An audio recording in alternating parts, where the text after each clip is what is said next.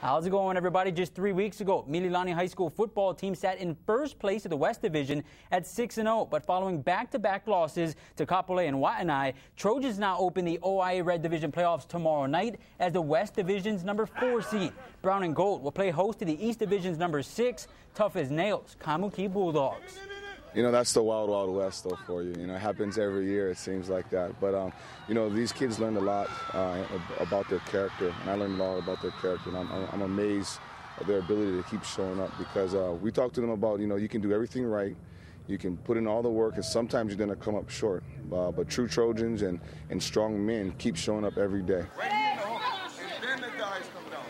What do you expect out of Kaimuki? Uh, running game, it looks to be their style.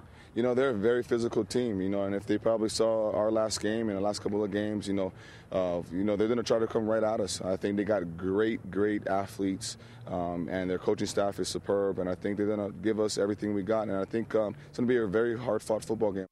Winner between the Trojans and Bulldogs tomorrow night will meet undefeated Kahuku in the quarterfinals. Second game of the opening round will pit Campbell and Kailua. Winner there will face Leilehua.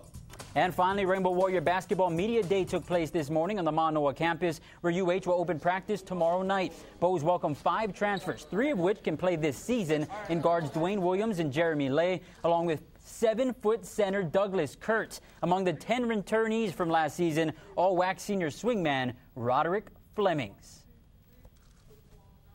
Just tell me what you think of Rod's gold shoes. Last year with the multicolored. Mm-hmm this year uh, he's gone golden, so maybe it's going to be a golden year for us. Nah, that's nothing, man. It's nothing. I know y'all like my shoes, man. Y'all make a big deal out of my shoes every year. Remember Michael Johnson? Yeah. Okay. Well, I think you know he won gold in his, so maybe maybe Rod's thinking the same thing. Man, I said I don't really care. he can he can wear pink shoes, man. He's a good ass player, so he can do it. You know, you got to be a special guy to wear gold shoes, right? You feel special? nah, man. Sometimes I feel special, man. It's all right.